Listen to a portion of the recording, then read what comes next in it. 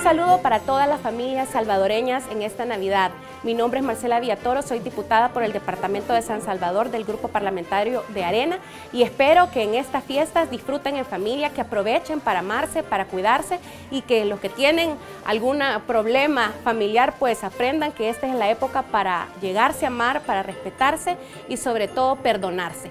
Así es que espero que sus sueños y sus deseos se vuelvan realidad. Un saludo, bendiciones. thank you